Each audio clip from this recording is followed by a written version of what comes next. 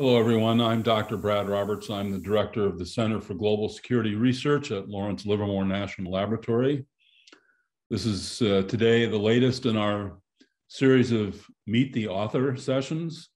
These are relatively brief introductions to new publications that we're posting at our website.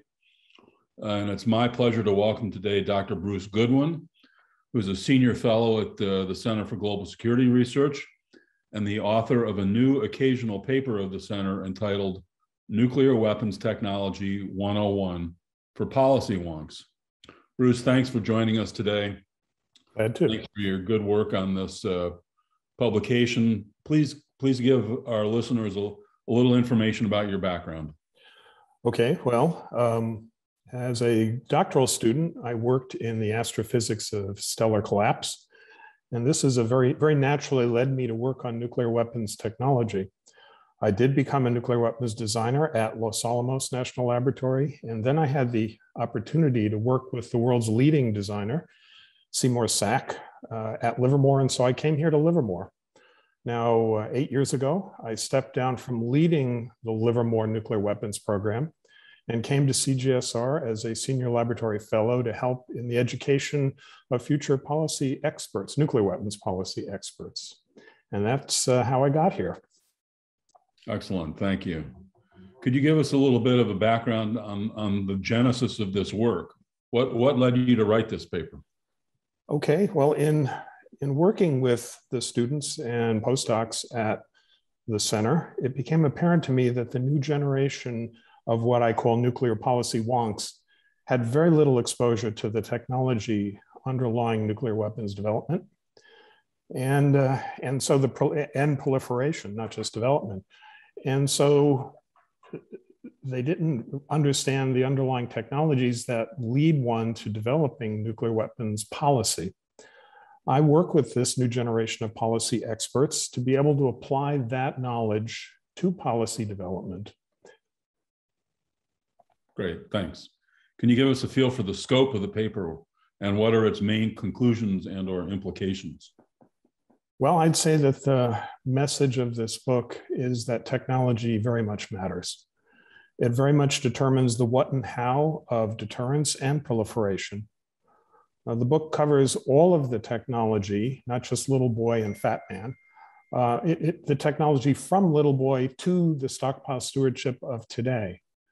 Now, fortunately, if you use everyday language to explain science and technology, to explain what the technical language means, then the science and technology are reasonably simple to understand.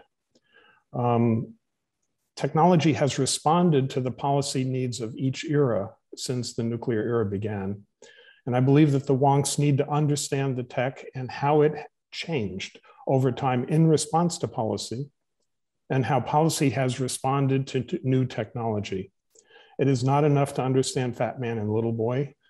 You have to understand the development of the H bomb, the subsequent and very important miniaturization of the H bomb, and the development of intrinsic nuclear weapons safety, along with the end of testing and the advent of science based stockpile stewardship. They need to understand this if, tech, if policy is to be developed and adapted in the future. So this is a very valuable publication, and I, I think it, it, it achieves those aims admirably. Thank you. you. You've been a great mentor to the center's younger staff. In your experience, what makes them so interested in nuclear weapons today? Well, uh, you know, I think what makes them interested in nuclear weapons is the realization that we've had a very long peace, as Gaddis put it. Um, essentially 75 years of peace without a world war, largely because of nuclear deterrence. Um, and there is probably nothing more important than the main maintenance of that peace, and therefore the sustainment of the deterrent.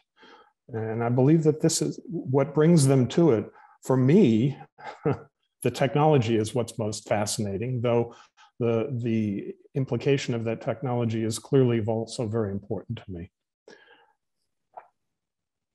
All right, thanks. So this is just intended to be a quick introduction to the author and, and an emerging piece of work. Uh, Bruce, let me ask if there's anything you'd like to add in closing. Well, I, I think what's important at this, what makes this timely at this point in time is that we are at a moment of generational change. Uh, the baby boom is retiring, and that is the last generation that developed and tested nuclear weapons. Before this change is complete, we as a nation, I believe, need to ensure that, the, that their knowledge, history, and expertise is handed off successfully. And that time is very much now. That's what's motivated me to, uh, to write this little booklet.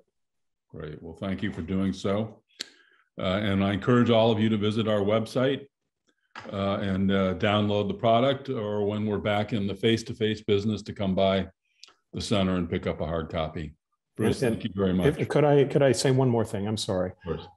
I would like to encourage people who read this to, uh, to give me feedback, to respond to me, give me their thoughts. If there are ways to make this better, to do this better, I think that it's very important to uh, hear what they have to say. So please feel free to contact me at the center about this publication. Great. A good closing note, Bruce. Thanks very much. Thank Thanks you. to all of you for your interest. And at this point, we stand adjourned. Thanks very much.